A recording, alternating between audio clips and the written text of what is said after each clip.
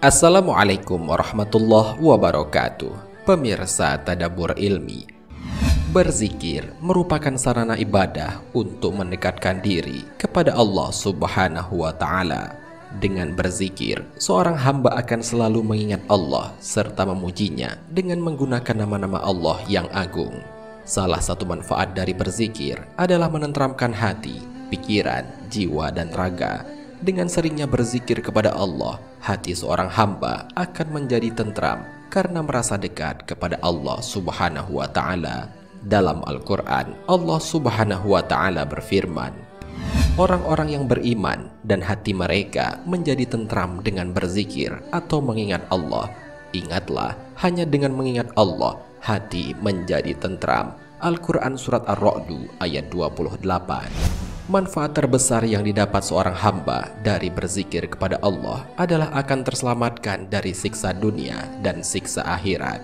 Disebutkan dalam sebuah hadis bahwa tidak ada amalan yang lebih bisa diharapkan menyelamatkan dari siksa Allah kecuali berzikir.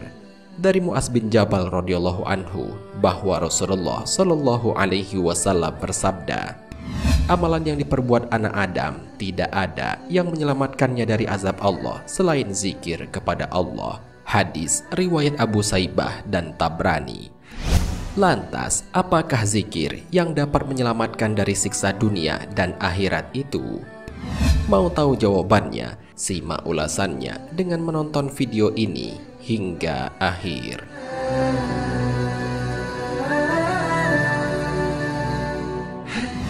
Sebelum lanjut, bagi kalian yang belum subscribe, silahkan untuk menekan tombol subscribe terlebih dahulu. Aktifkan lonceng notifikasinya. Bagikan video ini kepada teman-teman kalian agar semakin banyak orang yang mendapatkan manfaat dari channel ini.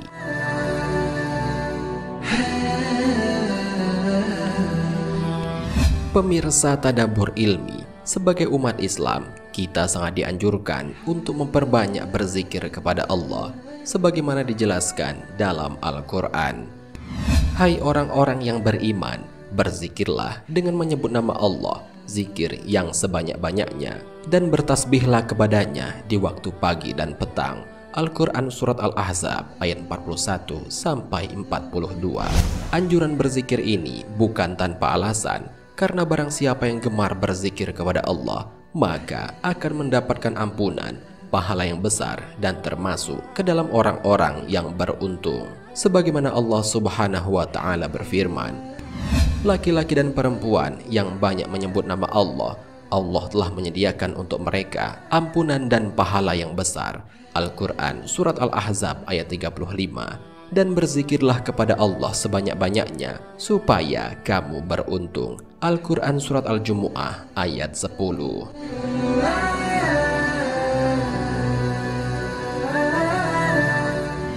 Tidak dapat dipungkiri bahwa tujuan seorang hamba melakukan kebaikan adalah untuk mendapatkan keriduan Allah, berharap Allah ridho terhadap kehidupan yang dilakukan di dunia, dan Allah meridhoi kelak di akhirat masuk ke dalam surga.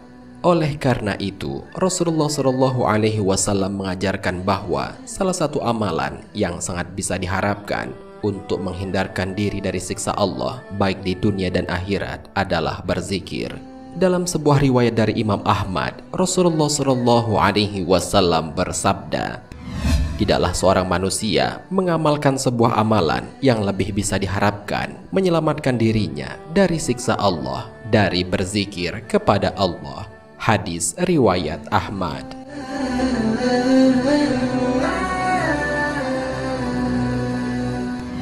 Sebagai umat Islam, tentu kita mengetahui bahwa ada banyak kalimat zikir yang bisa dilafazkan sebagai sarana mendekatkan diri kepada Allah. Akan tetapi, menurut Syekh Abu Hasan Al-Sadzili, lafaz zikir yang bisa menjadi penyelamat dari siksa dunia dan akhirat adalah Alhamdulillah wa astaghfirullah wa la hawla wa la quwata illa billahil aliyil azim. Alhamdulillah ya zal minani wal ihsanu minallah. Yang mana artinya, segala puji bagi Allah dan aku memohon ampunan kepada Allah. Tiada daya dan kekuatan kecuali dengan pertolongan Allah yang maha tinggi dan maha agung. Segala puji bagi Allah, wahai pemilik segala nikmat, dan segala kebaikan bersumber dari Allah. Penjelasan tentang hal ini sebagaimana dijelaskan oleh Syekh Abu Hasan Al-Sadzili dalam kitab Risalatul Amin fi Al-Wusul ila Rabbil Alamin. Ia menyatakan, Hendaknya kamu wahai saudaraku membaca zikir yang mewajibkan aman dari azab Allah di dunia dan akhirat. Ia juga mewajibkan keriduan Allah di dunia dan akhirat. Hendaknya kamu berpegang dan senantiasa membaca zikir tersebut, yaitu Alhamdulillah wa astaghfirullah wa la hawla wa la quwata illa billahil aliyil azim alhamdulillah ya zal minani wal ihsanu minallah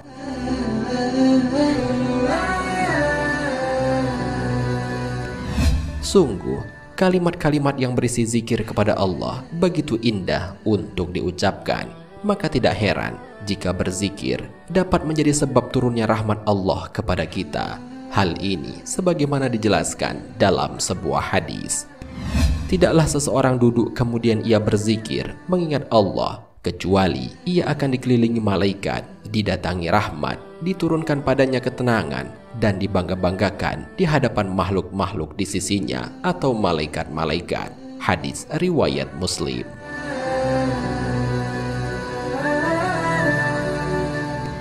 Pemirsa Tadabur Ilmi, Demikianlah pembahasan mengenai amalan zikir yang dapat menyelamatkan kita dari siksa dunia dan siksa akhirat. Sungguh, dengan rajinnya kita dalam berzikir kepada Allah, itu menjadi pertanda bahwa kita selalu ingat kepadanya. Dengan begitu, Allah pun akan selalu mengingat kita. Dalam Al-Quran, Allah subhanahu wa ta'ala berfirman, Maka ingatlah kepadaku, aku pun akan ingat kepadamu Bersyukurlah kepadaku dan janganlah kamu ingkar kepadaku. Al-Quran Surat Al-Baqarah ayat 152 Semoga dengan adanya video ini dapat menambah motivasi bagi kita untuk selalu berzikir kepada Allah, baik dalam kondisi lapang maupun kondisi sempit, sehingga Allah selalu melimpahkan rahmatnya bagi kita dan menjauhkan kita dari bala dan musibah, dan menyelamatkan kita dari siksa dunia dan siksa akhirat. Amin ya Rabbal 'Alamin. Wallahu a'lam bisawab. Jika terdapat kesalahan dalam penyampaian ini, admin mohon maaf dan itu merupakan kesalahan dari admin sendiri. Jika ada benarnya, itu adalah dari Allah Subhanahu wa taala. Semoga bermanfaat. Wassalamualaikum warahmatullahi wabarakatuh.